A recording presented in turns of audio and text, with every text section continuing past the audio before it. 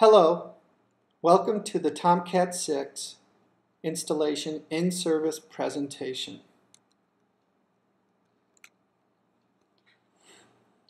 My name is John and I'll be walking you through this.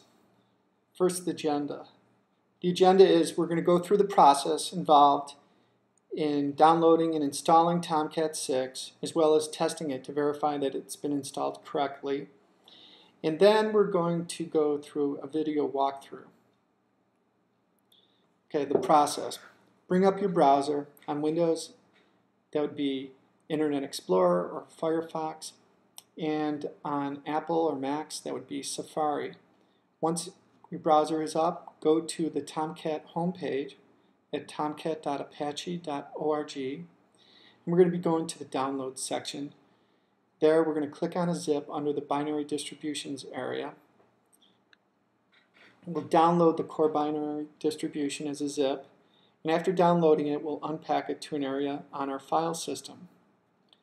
Uh, once this is done, we'll probably need to set some environment variables, java underscore home, which is the location of your Java development kit, or and or the uh, Catalina underscore home. Now these environment variables are set using standard methodologies depending on what your operating system is.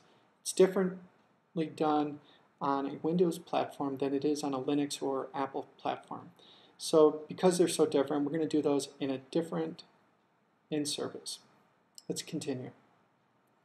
Okay, once we've got it installed, we're going to go ahead and run a, a shell script uh, on a Mac environment or a Linux environment or a batch file on a Windows environment.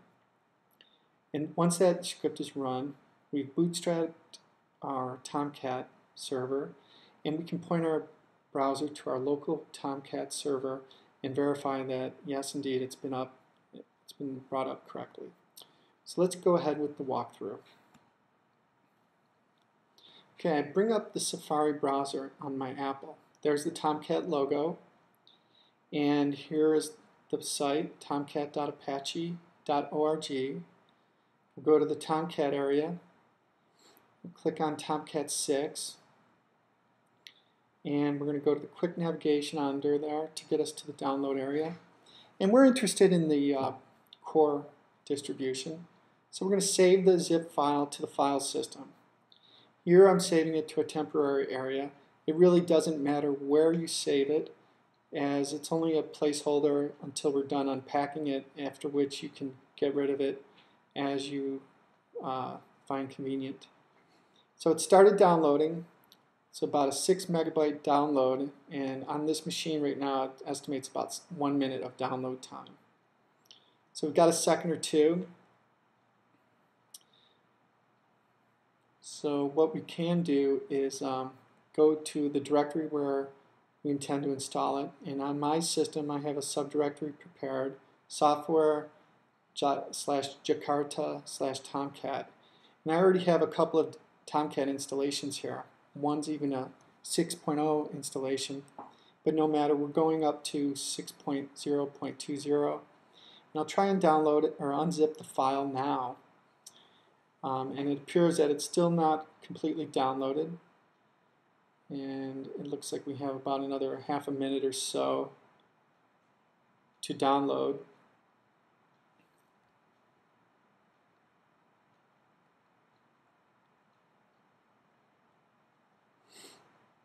Tomcat's um, a pretty lightweight application server and a uh, servlet container and the price is right, it's free under the Apache license.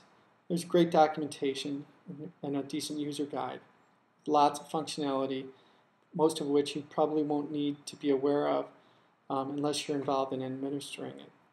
Okay, so we're done on, on uh, downloading the file. Now we'll unzip the file using the unzip command on this Linux or this Apple machine. It would be a little bit different on your machine if it's Windows box.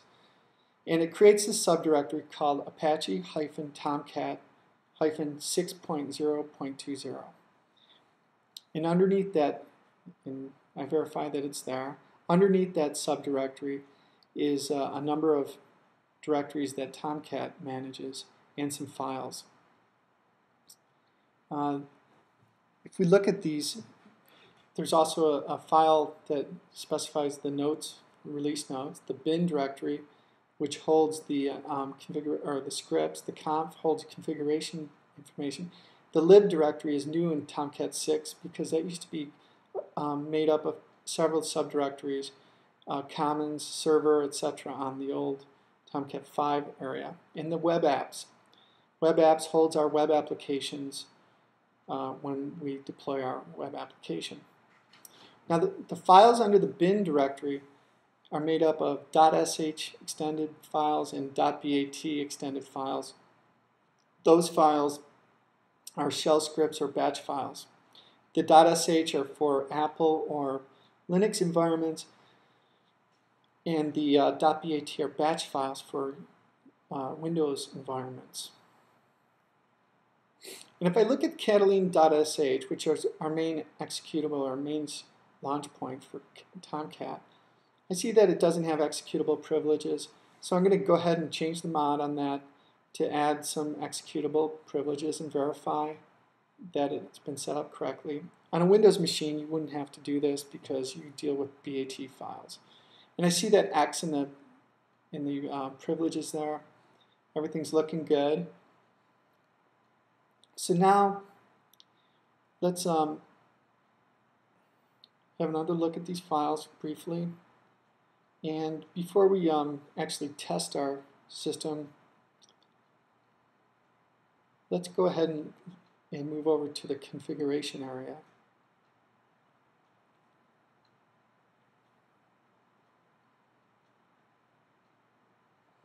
And here you'll see a number of files. One of them that's very important is server.xml.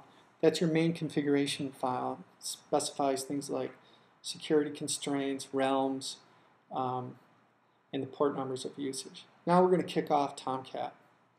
And it shows us some interesting uh, environment parameters, Catalina underscore home, JRE underscore home, which happens to be derived from a Java underscore home if you have the JDK installed. And it takes about uh, 600 milliseconds, a little over half a second, to bootstrap a fresh Tomcat 6 installation pretty quick. And we can uh, bring up our browser now to verify that it's, it's available to our uh, users. To do that, we go to the browser and we start typing in uh, http colon slash slash localhost. On most boxes it would be 8080. Uh, on this I happen to have it set to 9080 uh, and you can see a little kind of uh, magic here because it's going to look like it's on 8080 but that's actually just a cached page. So I'm going to go back here and modify the port number for me to 9080 and now I can go to some local documentation can see it's specified at localhost instead of the Apache website. And the unlike uh, mail archives or forum archives, which actually goes out onto the internet. Okay, so that's the walkthrough for starting, for installing uh, Tomcat. And one thing that's even easier is bringing Tomcat down because all you have to do here is do Control C. There it is, Control C, and it shows the components of Tomcat stopping, pausing, stopping, stopping, and you dropped your listener. So that's it. We've downloaded and installed Tomcat, and we have um, checked it out and verified that it worked. Hope you enjoyed that.